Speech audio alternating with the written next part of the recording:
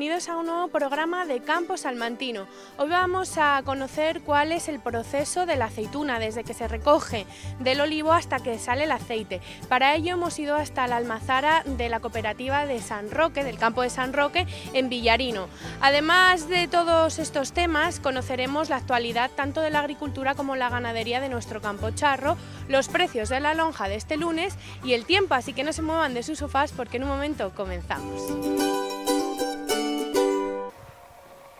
Pues como bien les anunciaba la compañera Vega Hernández al inicio del programa, hoy vamos a ver desde dentro una almazara y para eso hoy tengo a mi izquierda el presidente de la cooperativa del campo San Roque, Carlos Hernández. Muy buenas tardes. Hola, buenas tardes, ¿cómo estáis? Eh, Carlos, bueno, eh, dentro de la cooperativa, aparte de la bodega, pues tenéis una almazara que vamos a ver por dentro en unos instantes, pero explícanos un poco la historia, cuándo se fundó, los socios. Sí, mira, en 1961 aproximadamente comenzaron las obras eh, de lo que es la bodega y la almazara de, la cooperativa y sobre el 1963 es cuando ya empezaron a funcionar pues, para hacerse el vino, para hacerse el aceite y demás. La función principal de esta cooperativa en principio fue el, el vino, lo que pasa que ahora ha quedado en segundo plano y ahora pues casi solo nos dedicamos al tema de, del aceite. Eh, en un principio, pues eh, alrededor de 100 socios fueron los que, los que comenzaron esta andadura, que luego con el tiempo, por la mayoría de productores, tanto de vino como de aceite del pueblo, formaron parte de, esta cooperativa y ahora somos alrededor de 170 socios los que estamos metidos en la cooperativa y estamos de forma activa, pues sobre todo trayendo eh, nuestra aceituna para hacer el aceite porque el vino, como te decía, ha quedado en un segundo plano. Bueno, imagino que mm, pues para hacer ese aceite, para tratar la, aceituna y que sea de consumo humano, pues sobre todo uno de los puntos importantes será la certificación sanitaria.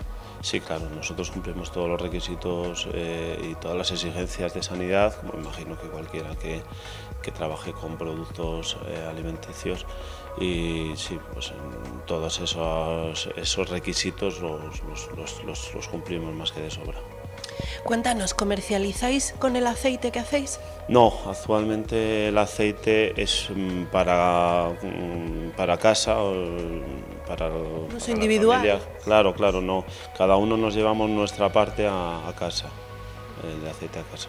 ¿Y cuáles son los próximos retos de la cooperativa o hacia dónde vais a apuntar? Bueno, pues una de las cosas que nosotros hemos pensado cuando, cuando nos metimos en la dirección de, la cooperativa es eh, comercializar el aceite, eh, cambiar el embotellado, hacer embotellados con formatos más pequeños y más comerciales, en cristal, cambiando también la etiqueta y poder comercializar por lo menos el excedente que cada familia tenga.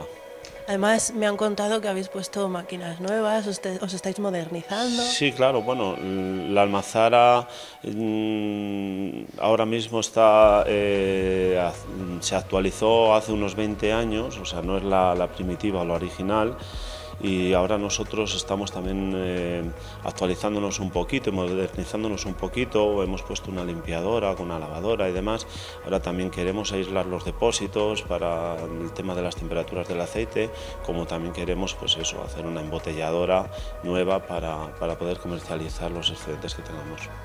Carlos, pues de todas esas cosas te vamos a dejar y nos vamos a ir a verlo. Muy bien, muchas gracias. Pues vamos a ver todo el proceso de la almazara.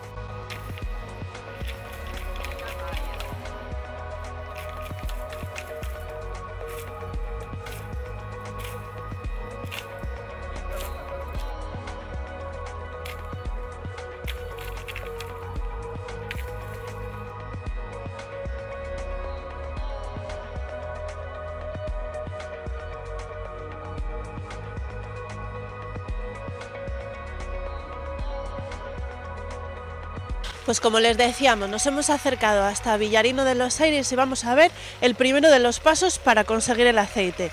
Pues cómo se coge la aceituna.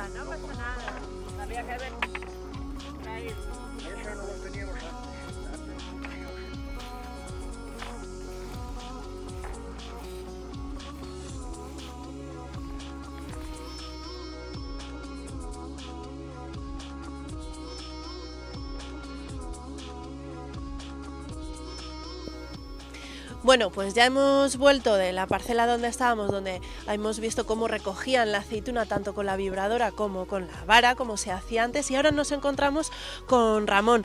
Ramón, muy buenas tardes. Buenas tardes. Aquí estamos fuera de la almazara y ¿qué estamos viendo? ¿La aceituna por dónde? por dónde... Aquí estamos viendo la zona de, de recepción de la aceituna y entonces eh, aquí tenemos esto, lo hemos montado nuevo este año, nos quedan todavía que terminar unos detalles, pero bueno, básicamente la aceituna según viene de la parcela, eh, limpia de las ramas más grandes y más pesadas, se arroja directamente aquí y luego ya la subimos por esa, por esa cinta hacia la máquina aquella, que es una máquina combinada que hace tres procesos eh, diferentes. Por un lado, lo primero que hace es soplarle la, hoja que la, saca por aquel yatolva hacia el remolque, luego la pasa a una pequeña bañera con agua que lo que hace es quitarle la tierrecilla y algún, si trae alguna pequeña piedra, y luego la pasa a otra zona donde, se sale, donde elimina los, los palos largos que pudieran venir. Y a continuación ya pasa a la pesadora, que la va haciendo en lotes de aproximadamente 35 kilos, y ya la pasamos por la cinta hacia el otro tolvín y ya la metemos dentro en la cinta de almacenamiento y básicamente no tiene este proceso no tiene más. La pesada la va haciendo por, por lotes de aproximadamente entre 35 y 37 kilos y cuando le das finalizar pues te lo suma a todos un ordenador y ya está. pues enséñanos, una vez que, que, ha pasado por ambas rampas, enséñanos cómo, cómo va por dentro. Vale, pues venga, vamos. Bueno, pues ya estamos dentro, Ramón. Sí. ¿Y ahora por dónde, por dónde vendría? ¿Por esto de aquí? Bueno, pues vamos a ver, aquí dentro tenemos un, silo de almacenamiento y ya desde ese silo nos está viniendo por este elevador a esta cabeza que hay ahí arriba, que es un, molino de martillos, que es lo que se encarga de triturar la aceituna y, pasarla a la, a la batidora. Vamos a subir, tener cuidado,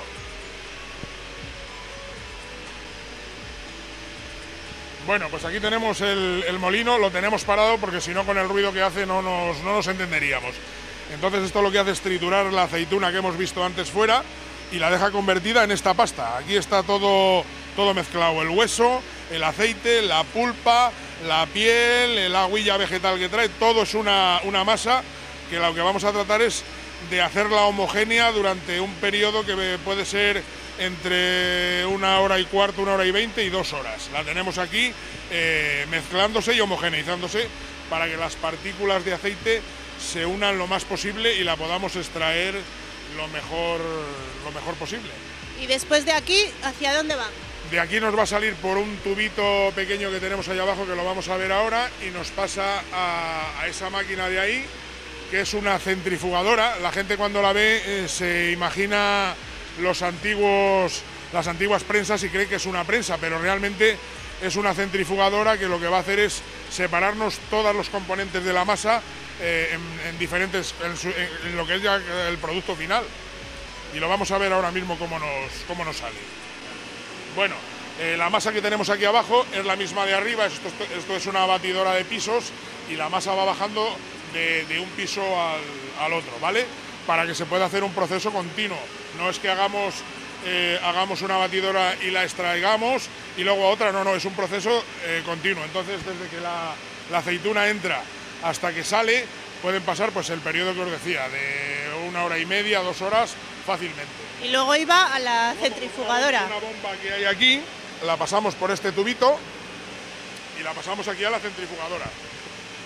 Y aquí ya, mira, allí nos está empezando a salir el, aceite, que todavía está un poquito sucia, ahí ya le ha sacado el aceite y el resto de productos, el hueso, la pulpa y el, el alpechín, que es la huella vegetal, ya está saliendo para, para el silo. Desde ahí ahora la vamos a pasar a otra, otra centrifugadora un poco más fina para que le acabe de, extraer los restos de agua que tenga.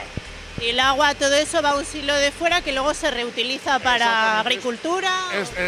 la pasta que hay fuera se llama alperujo, que son todos los restos de la molduración, y lo llevan a Portugal, a una planta que hay especial que se dedica pues a eliminar este tema y lo que hace es separar el agua por un lado, que la utilizan para riegos, la pulpa para hacer abonos y los huesecillos de la aceituna los utilizan para calefacciones y para biomasa, pellets y cosas de estas.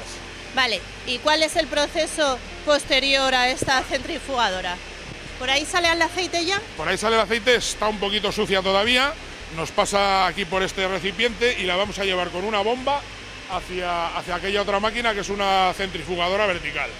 Vamos a ver. Vamos a verla. Bueno, y como nos decías, bueno, pasa ahora esta bueno, pues pequeña... aquella bomba nos pasa aquí a esto que es otra centrifugadora y ya le va, a eliminar los restos de agua que, tuviese y nos está saliendo aquí por este, por este grifo hacia estos depósitos que son unos pequeños decantadores y ya de aquí con otra bomba la enviamos a los depósitos de almacenamiento donde la tendremos eh, un par de meses o tres para que madure y luego ya embotellarla. Y luego ya pueden venir los socios de la cooperativa a, recogerla. A recogerla, sí. Mm, ¿De ¿Qué variedades son las aceitunas que traen? Eh, aquí son básicamente, las mayoritarias son las autóctonas de aquí, que son la manzanilla y la cornicabra, aunque ahora se está introduciendo alguna variedad más como la picual y alguna arbequina y tal, pero vamos, básicamente manzanilla y cornicabra. Y después de esos dos meses ya se puede. Después de esos dos meses nosotros no la, no la filtramos, solamente le hacemos la decantación natural y ya la pasamos a las botellas, la etiquetamos y cada socio se lleva la suya y se acabó. Que esté buena. Seguimos con el programa después de esta pausa publicitaria y lo hacemos repasando la actualidad de nuestro campo salmantino.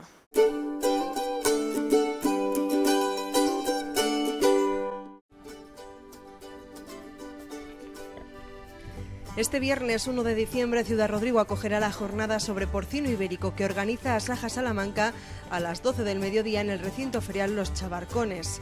Bajo el marco de la Feria de San Andrés, que pondrá precio a la bellota, el viernes se darán cita a expertos para analizar el futuro del porcino, así como aspectos más relevantes en sanidad, genética e inseminación.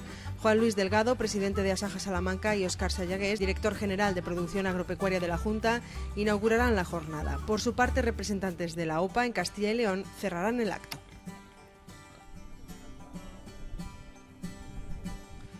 La Consejería de Agricultura y Ganadería destinará 40 millones de euros en ayudas para los 2.682 nuevos contratos plurianuales de las medidas de agroambiente y clima y de agricultura ecológica, que se han sumado en la convocatoria del primer semestre de 2017 crece así un 26,4%, hasta los 12.823, el número de agricultores y ganaderos que se ha incorporado a este tipo de prácticas agrarias compatibles con la conservación del medio ambiente.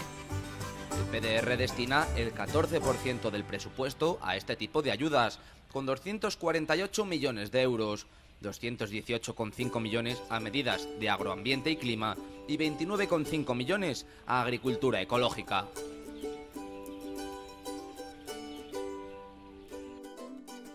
Turno ahora de repasar las cotizaciones de este 27 de noviembre y el tiempo que nos va a esperar para esta semana.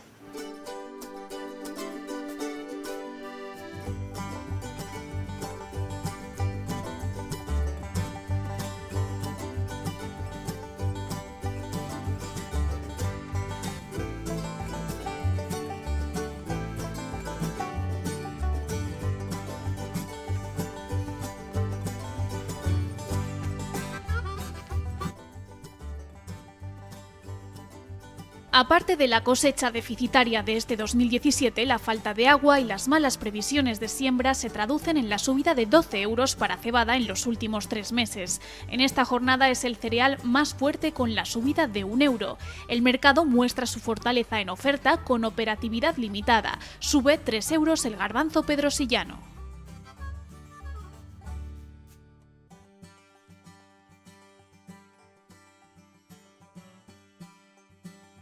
En lechazo sigue la competencia de Francia, Italia y Grecia presionando los precios a la baja. Por otra parte, los corderos apuntan cierta estabilidad por falta de ganado en campo y sin prisa en ofertar los de peso medio con poca actividad en mostradores. Así repiten todos los precios.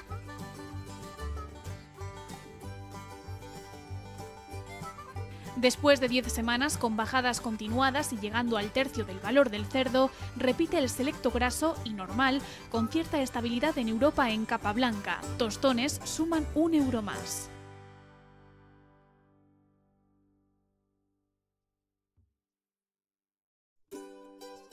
En ibérico sigue la tendencia alcista en cebo y cebo de campo con subida de 2 céntimos. La fortaleza se encuentra en lechones que suman 10 céntimos y los tostones suman otro euro. Este jueves se pondrá precio a la primera cotización de la bellota, así como la mesa de despiece en la feria de San Andrés de Ciudad Rodrigo.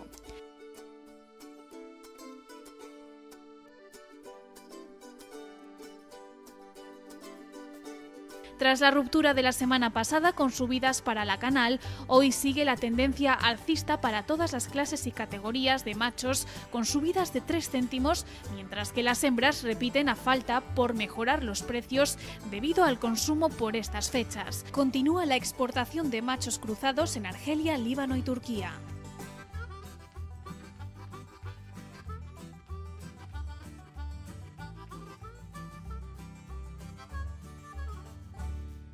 El mercado se ha comportado a buen ritmo al coincidir compradores habituales y de ganado de calidad. En campo, la demanda sigue fuerte y la oferta no es excesiva, por lo que la mesa incrementa en 3 céntimos el valor de machos y hembras. 2.045 reses han ocupado los sitios del mercado. Llama la atención la fuerte presencia de vacas, 315, que suponen el 16% de las cabezas registradas.